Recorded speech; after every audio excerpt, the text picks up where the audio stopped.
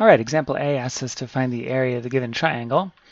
The triangle is not a right triangle. This is an obtuse triangle. This angle here is obviously significantly greater than 90 degrees. We do know that the base of the actual triangle is 7 units, and the slant height is 5 units. What we don't know is the actual height of the triangle. So we could do base times something, but we don't know what to multiply the base by to get our area, which is base times height over 2, right? So what we need to do is find this dimension over here. We're going to call this x. We need to find the, the length or the, the height of our triangle, the length of this sort of missing side out here that would tell us how tall it is actually from the base of the triangle to the highest point up here. Now what we do have, if we were to sort of sketch in a right angle and then go up to the top of our original triangle shape, we can make a right triangle here. And even though this dimension doesn't really exist in the original triangle, the distance is accurate. It is three units from this end here over to the tip of that triangle if we come down at 90 degrees. So we can form a right triangle here. Let me sort of outline that in pink so it shows up a little better. We can form a right triangle right here. And if we do that, we have two of the three sides of a right triangle we have 3 units and we have 5 units. So we can use our Pythagorean theorem. 5 squared equals 3 squared plus b squared. So we'll just subtract 3 squared from both sides. 5 squared, of course, is 25. And that's equal to, let me go ahead and punch these in, plus b squared. So we'll subtract 9 from both sides.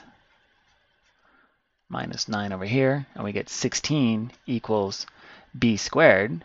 We take the square root of that, we get either positive or negative 4. Obviously, this isn't negative 4 centimeters long, or units long, whatever those units are. So we know it's going to be positive 4 units long. So 4 is B. So now we have over here, our side is 4 units. I should have labeled that B. Sorry, I didn't mean to be confusing labeling it X the first time. There we go. So the height of our triangle then from here up to the very tip of the triangle, is 4 units. Well, now we can use our formula. Now we can take our base of 7 units and multiply it by our height of 4 units. We get, and then divide by 2. So we get area equals 7 times 4 divided by 2. Well, 7 times 4 is 28. And 28 divided by 2 is 14. So our area is 14 units squared. All right, example B. Example B, find the perimeter of the triangle in example A. So here's our triangle in the red from the original example.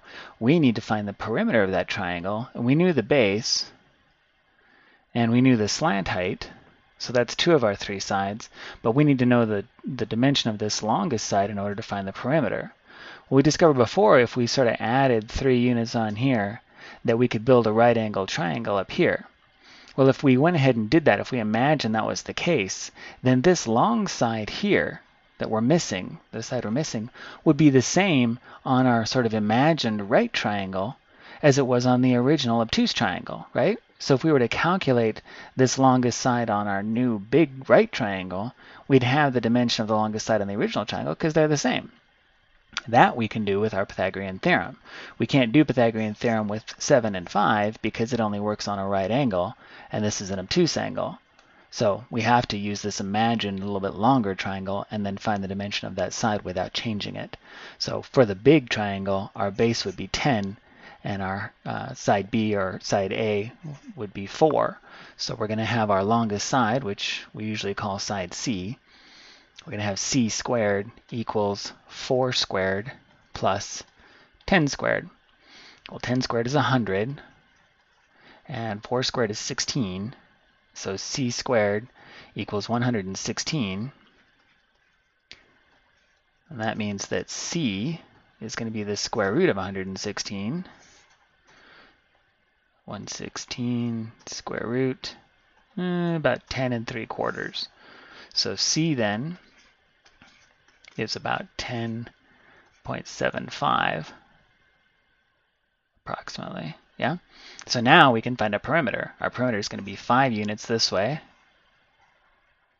and 7 units this way. So 5 plus 7 plus, and then C up here was 10.75. So 10 more units, 10 and 3 quarters units this way. Well, 5 and 7 is 12, plus 10.75 is going to be 22.75 units. All right? Okay, example C. Find the area of a triangle that has a base of length 28 centimeters and a height of 15 centimeters. Well, this one they've given us our, our information we want again. That's good. So we have 28 centimeters this way and a height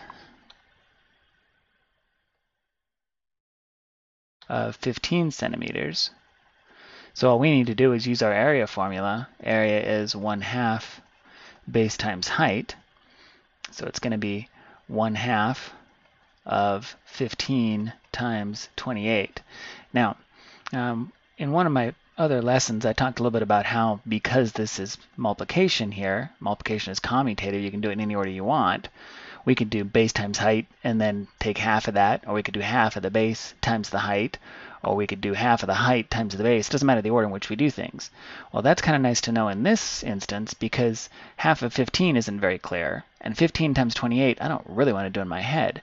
But I can take half of 28 easy because 28 divides by 2, 2 and 8. So we have half of 20 plus half of 8, or 14. So I'm going to do that. I'm going to do 1 half times 28 first. That gives me 14. So then I have 14 times 15. Now, 14 times 10 would be 140, and half of 140 is 70. So that means that 14 times 15 would be 100 and, oh, I'm sorry, 210. I did it in my head and then I undid it in my head. 140 plus 70, 210. So our, our area then is going to be 210 centimeters squared.